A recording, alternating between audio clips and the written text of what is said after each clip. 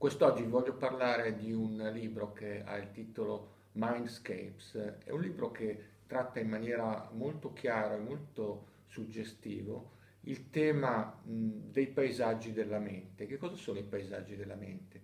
Sono quelle situazioni nelle quali noi tutti quanti attingiamo e sono paesaggi che riguardano la nostra infanzia, il nostro vissuto, tutto quello che ci ha colpito nell'arco della nostra storia ha molto a che fare tra quello che noi definiamo il mondo interno e molto spesso questi elementi vengono immagazzinati dentro di noi in una sorta eh, di rifugio, in una sorta di giardino della mente che è molto importante avere. Vittorio Lingiardi ce lo spiega in maniera molto interessante facendo dialogare non soltanto la clinica, quindi la psicologia applicata, ma anche i riferimenti che vengono eh, in maniera eh, molto suggestiva eh, ma altrettanto efficace dalla letteratura, dalla poesia, dall'arte e dai quadri.